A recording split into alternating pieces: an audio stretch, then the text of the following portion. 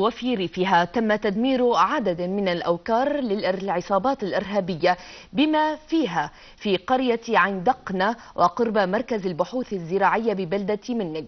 كما أوقع بواسلنا قتلى ومصابين في صفوف الإرهابيين. قرب معملي الزجاج والسيف ومبنى الزراعة وتلة المضافة بمنطقة المسلمية. ودمروا مدفع هاون وراجمة صواريخ. وقرب كسارات الوضيحي في خان طومان وقرب معمل الدقاق في منطقة خان العسل تم القضاء على تجمعات للإرهابيين.